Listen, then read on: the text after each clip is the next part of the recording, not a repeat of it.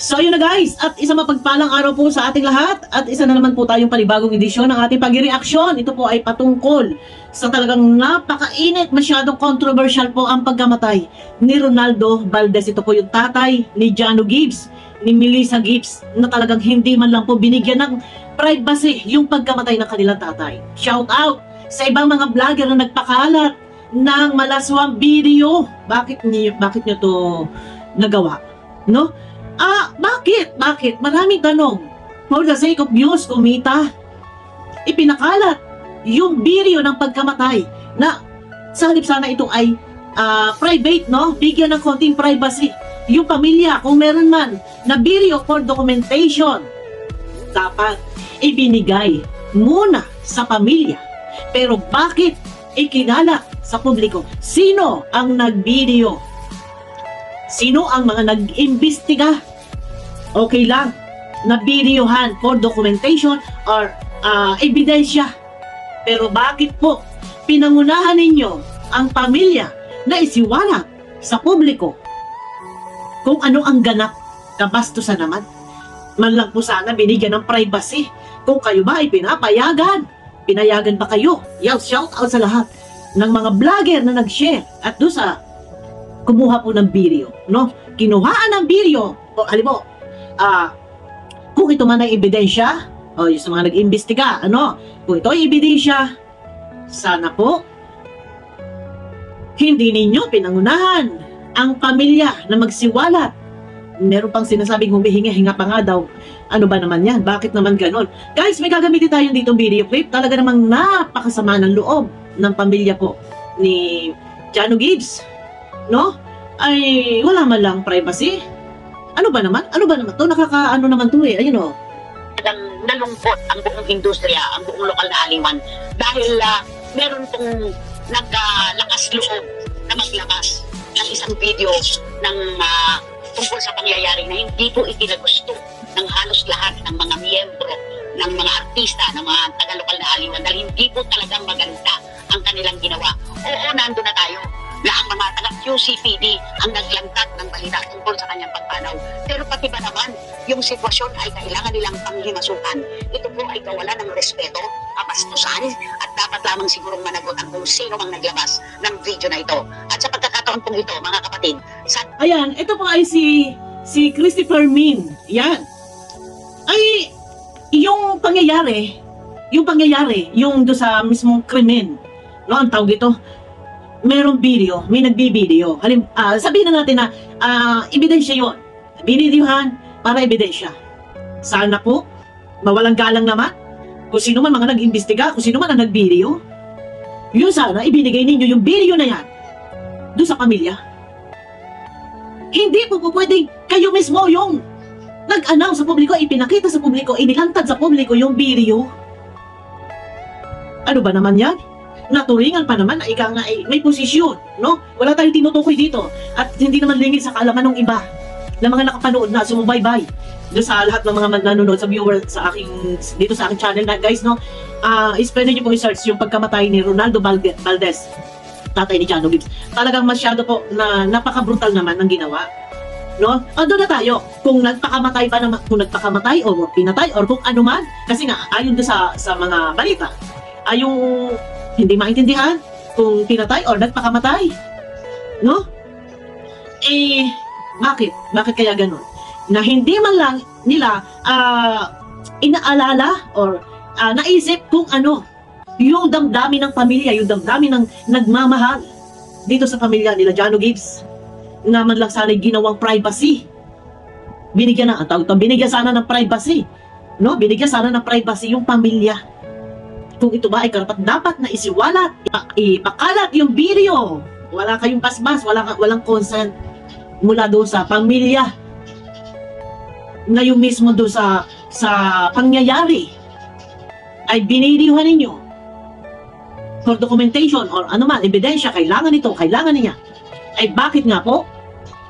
Ini-upload nyo sa social media para ano kumita? Ha? Yumaman kayo, sumikat kayo? Oh, ano ba itong mga nag-imbestiga to? Nag-imbestiga na to? Mga civilian ba ito? Yung iba? Meron ba? Pulis? na nag-imbestiga rin at nagkuha ng video o nagpakalat, tanong ko lang. Ha? Pero, kung kayo ay napapagkatiwalaan, kayo yung mga investigador or kung sino man, kung ano man kayo, dapat po sana alam ninyo eh. Hindi po sana ganyan, na inunahan na ninyo yung pamilya. Di ba? Yung, alam niyo, sa totoo lang, ang iba kasi, alam mo, sa, sa showbiz, uh, may namamatay, ang ginagawang privacy, hindi nila i- i- binobroadcast kung ano yung pangyayari, kung ano yung namatay, kung ano kung yung krimen. Hindi nila binobroadcast ito. Kasi mayroon silang mga isinasaalang-alang na tao at gusto nila nakatahimikan, ayaw na napapagpiestahan. So ngayon, ito, kumalat. Hindi ko rin kasi napanood yung video.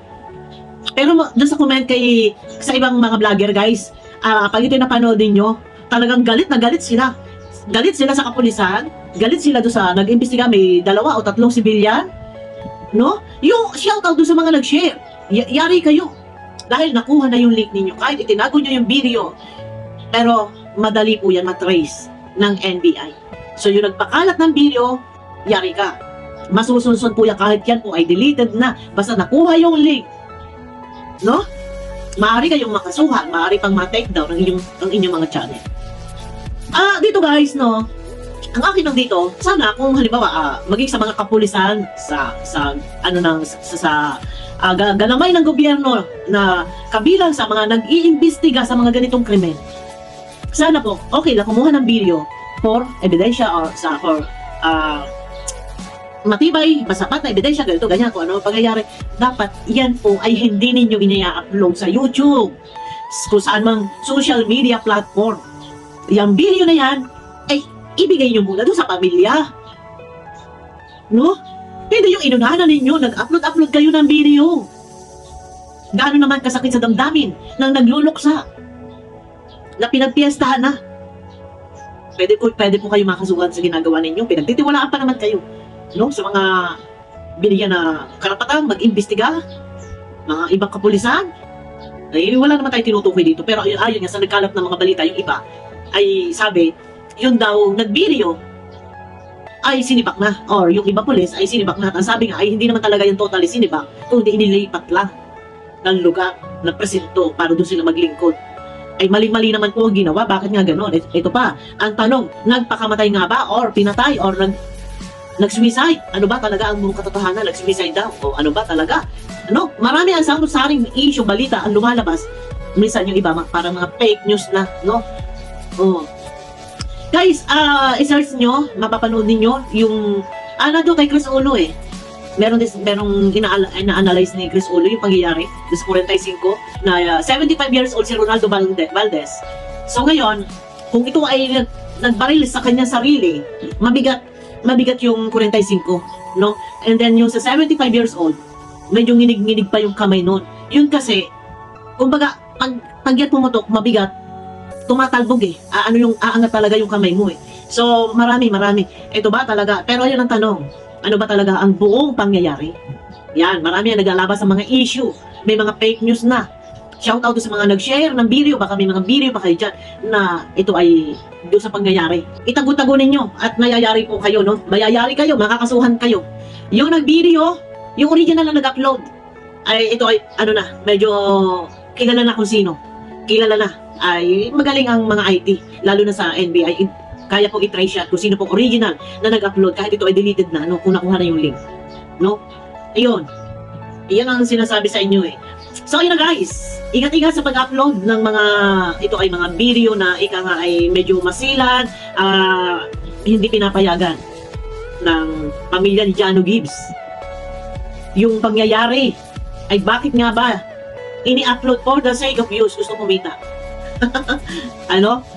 Ayan na guys, abangan nyo ako sa aking next video. Mega love shoutout po sa inyo lahat. Yan, pakiclick naman po ng subscribe and pakiclick po ng, ng follow guys. Nandito tayo sa aking Facebook page and YouTube, Bobby Vlog. Yan, and dito sa aking Facebook page. Ayan, mega love shoutout po sa inyo lahat. Bobby Vlog po ang aking YouTube channel guys. Yan, thank you at namoni na rin ang aking Facebook page sa wakas. At tagal ulit naghintay na demoni yan nun. So ayun na guys, abangan nyo ako sa aking next video. Bye bye po.